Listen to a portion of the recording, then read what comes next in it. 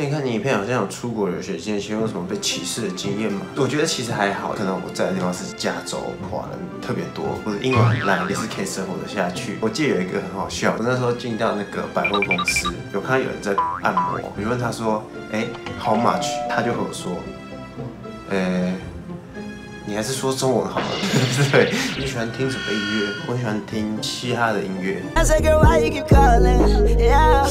有没有想过，为什么你都市传说都很完整，可是却没有遇到事情？我觉得啦，应该是我运气不好了。但是也是有一些征兆啦，有时候会看到蜡烛会掉下来，什么东西会掉下来，发出什么奇怪的声音，这种我觉得都算是征兆。知道考试要如何参加？哎，你知道我买这个聪明药，听说吃了你可以变很聪明。那我在想，搞。不好？可以试试看，去考会考题目，搞不好很猛。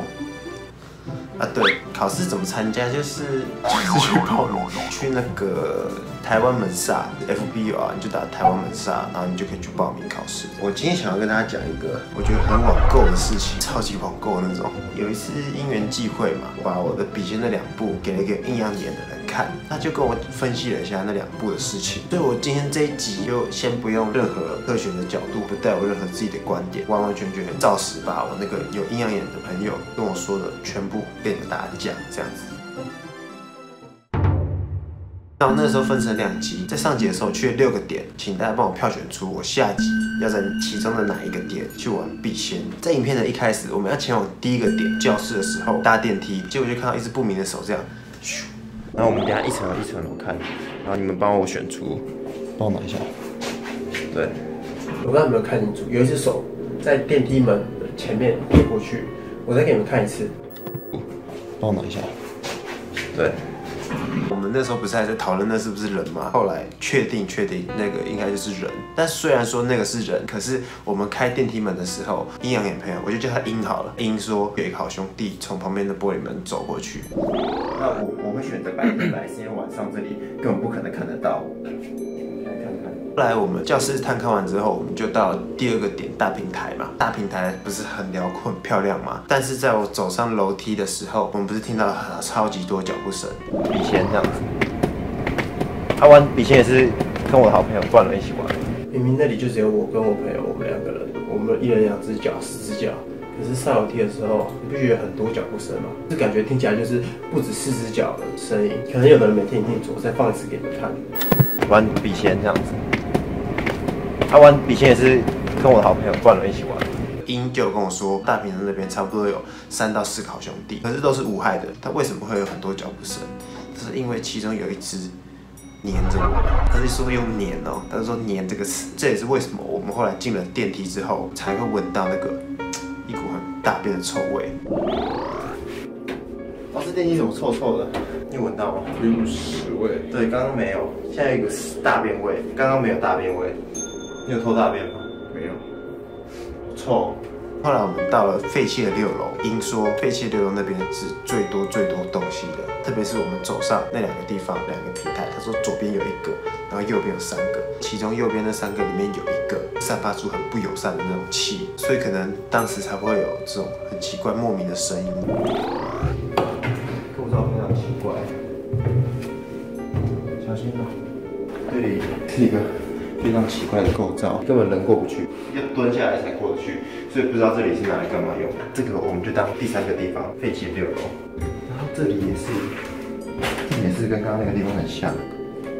打个灯，我去看一下里面是什么。里面看起来好脏，里面基本上就是也是这样子啊，那就是跟旁边一样嘛。哦，门这里超级闷，我手电筒。后来我们又到了歌剧院门口，还好歌剧院门口的那个门没有打开。他说那个门里面有一股很重很重的压迫感。发现了一个这个东西，看个锁起来你看一下，它有一个入口，所以这个应该是类似大厅歌剧院那种感觉。后来到了顶楼的时候，蛮出乎我意料的。因说顶楼其实唯一就是一个好兄弟，就是照片墙那一层徘徊。然后就说那个好兄弟是站备很久，应该是地府灵之类的。到第二集之后呢，我们就选出来要到那个大平台去玩笔仙，比较让我感觉酷的地方是，准备开始玩笔仙之前，我们不是要去开那个通往飞机六楼那个门，想说进去看看，看看晚上是长什么样子吗？结果打不开嘛。白天明明一轻松一开就开，可是晚上我们不管怎么弄，怎么敲都都不开。怎么可能突然开不了？嗯？哎，我们前几天还开得了，有声音吗？叉叉叉是什么？我不知道，打不开我试，看被你我都打不开，你觉得你打得开吗？会不会就是这个锁就是只能从里面开？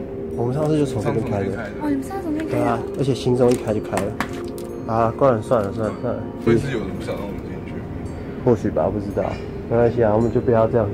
英说还好我们没有打开，他看到我们在开那个门的时候，他头就特别紧，里面那些好兄弟在不爽，想要对我们怎么样这样子，但是打不开，是因为外面大平台的好兄弟在暗中帮助我们。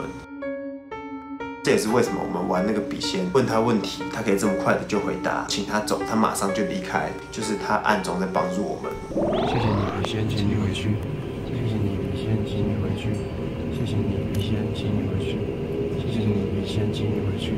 谢谢。所以其实我们那天遇到的好兄弟是真正的一个还蛮好的好兄弟。这两集大概就是这样子的一个状况啊。今天为什么我会再把这个拿出来跟大家讲？因为我下一集就是要去拍笔仙，那我是要去废弃的戏院拍，那请大家再期待一下。今天影片大概就这样，如果喜欢 YouTube 频道的话，可以帮我订阅、分享、喜欢。